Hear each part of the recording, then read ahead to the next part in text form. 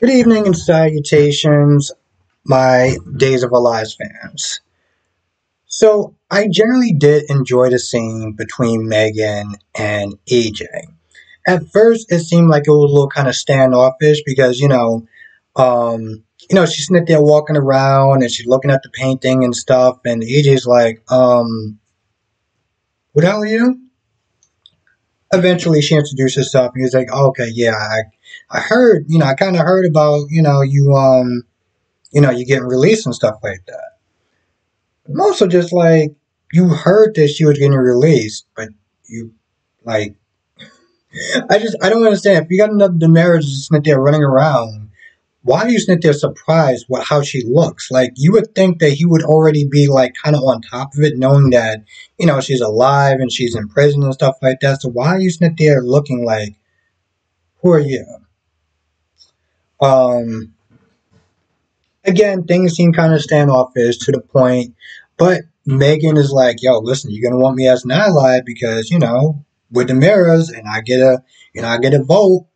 You may need my vote. And right then and there, this dude changed his tune so fast. He was like, oh, you know, we sit there and thought party. You know, it'd be really great. So, you know, they, they toast and everything like that, and eventually he calls up Tony. Now, I'm not gonna lie, I really did I really did enjoy the scene between Tony and um Anna. Anna's not there talking to Nicole, and Anna's not there checking up on Nicole to sit there and see how she's doing. Nicole is like, yo, listen, are you in a secure place? Like, are you making sure that nobody's in earshot of, you know, you hear what's going on? So, of course, Tony's like right there. And the minute she hangs up the phone, um, Tony's not there pressing her about, like, so, um, so, so, so who's pregnant?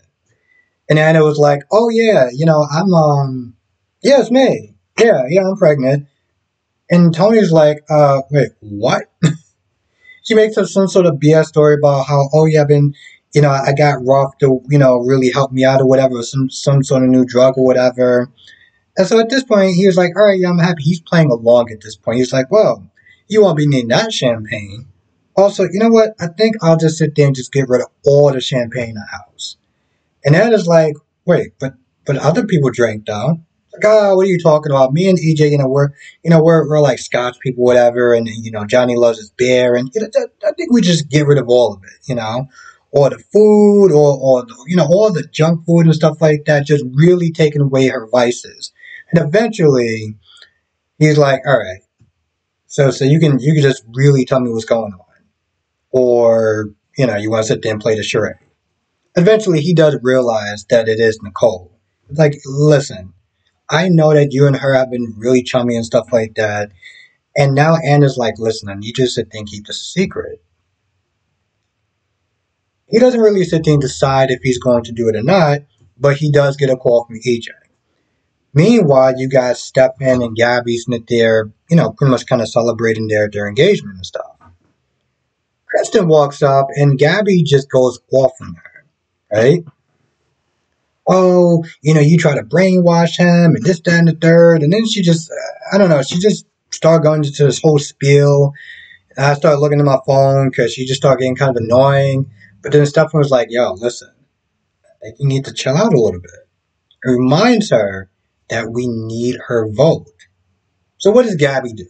She acts completely fake, like, oh, you know, just the, the, stress of wedding and stuff like that, just plan out this wedding is just, just going to be so. Because she was like, hey, listen, I, will you know, I'll be one of your bridesmaids or whatever. She changed the tune real quick. And Kristen was like, all right, here's what you can do for me right now. You can let me back into the house. Like, you, you, you own the house, right? Right, stuff. And he was like, yeah, well, kind of, I don't really know, but we'll, we'll work something out. Eventually, they all get to the house. And I mean, all of them and um, you know, Megan introduced herself to everyone in the, in room and stuff. Now, at this point, see, here's the thing. It was actually really cool to sit there and have all these DiMeras in one place, you know, minus Chad or whatever, you know, just all in one place. I thought that was a really nice, cool scene. But then what kind of soured it, I guess, a little bit for me was that once again, Stefan and EJ are playing this game of, oh, let's sit there and suck up to Megan, you know, sit there and try to get their vote. So it was kind of, eh, they're still playing that dumb game. And it's like, I don't know, maybe part of me is just kind of somewhat over it, you know? It's not terrible. Maybe I may enjoy it another day, who knows? But I don't know. For today, I was just kind of like, oh, yeah, you you guys are literally sitting there playing this this game. Okay, yeah. Now I did like the scene between Sloan and um, Nicole the second time. Because Kayla is like, yo, listen, I need you to sit and get a swap, you know, a swap from either donor. It doesn't have to be both, just one person to kind of eliminate someone. Nicole's like, oh man, I have no idea how I'm going to sit and get like a cheek. She needs to get a cheek swab they're going back and forth, and eventually someone's like, you know what, listen, I'll do you a solid. You know, I, I need I need Eric right now, so I'll do you a solid. You know, we could sit there and do divide and conquer. And at first, Nicole was like, oh, I don't really think it's a good idea. Just that in the third. I'm like, yo, you want to sit there and try to, you want to sit there and try to get it from either one of them? You, you want to do that? No, then then take her out. take her out. Um, Eric asked um, Marlena and, and Brady to, um, you know, go to dinner with, with, with Sloan. You know, she's under a lot of stress with her brother and everything like that. He ain't happy that she is representing him, um, representing Colin. But, you know, he's gonna sit he's gonna sit there and stick by her. And eventually Marlena and um and Brady, you know, they they you know like, all right, cool, we'll, we'll do it. Which again, you know, somebody reminded me like back in the day, Marlena wasn't exactly this squeaky clean character that she is now. And on top of that, Nicole is messy as hell. So I'm like, why are you sitting there being so harsh on Sloan? But you know, Nicole is just what she she's just she's just into the family now. Like, I mean, they don't they don't share kids or anything like that. You don't got to worry about like grandkids or anything like that. So like, why are you so easy on Nicole for? But with Sloan, it's like, uh, yeah, I don't know. We'll, we'll see what happens.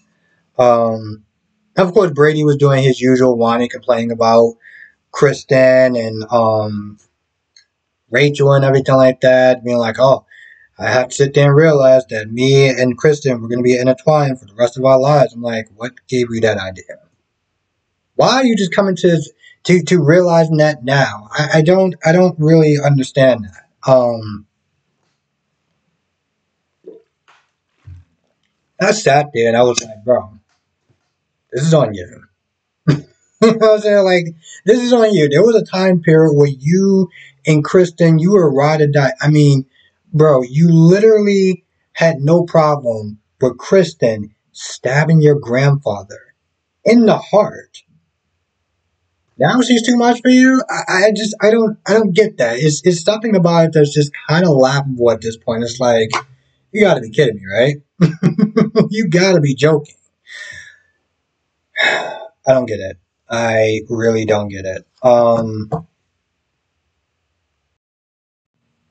and I guess the question is, um, is Tony going to say something to EJ during their whole toast? Because, you know, EJ's giving the toast and Stefan's getting the toast and, um, you know, it's, it's Tony's turn to sit there and get some sort of toast or to, to say something.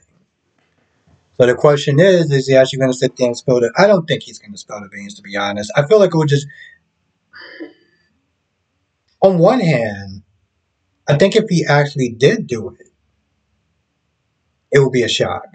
I'd be like, all right, we didn't see this coming. Because right now, Wall Smith, they're just assuming that Tony's not going to say anything. Tony's just going to sit there and make her sweat or whatever, just not say anything. Um, but there's a chance that he could say something. You know, it's a to- granted if he did, then it would it would defeat the purpose of Sloan Smith there helping Nicole out. This is why we know that he's not going to say anything. Um, I feel like that's about it. Um, yeah, I feel like that's about it. For Friday's episode, I thought it was actually pretty decent. It was it was interesting. I, I got to sit there and say it was way more interesting than GH. It was way more interesting than GH. Um, I really sat there and struggled for a good 20 minutes and they're trying to come up with anything that I could to sit there and try to do a review.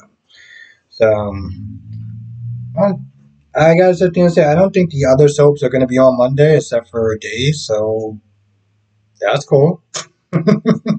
that's cool, I guess. Um, I feel like that's much about it. I might have missed one or two things, but I, I feel like that's about it for the most part. This was definitely a good episode. Check it out. YNR was actually a pretty decent episode, and BNB was actually a pretty decent episode. The only episode that actually failed was the one that I've been watching since in high school, which is um yeah. Anyway, that being said, I'm gonna go. I want to thank you for watching. Stay safe, and I'll see you in the next video.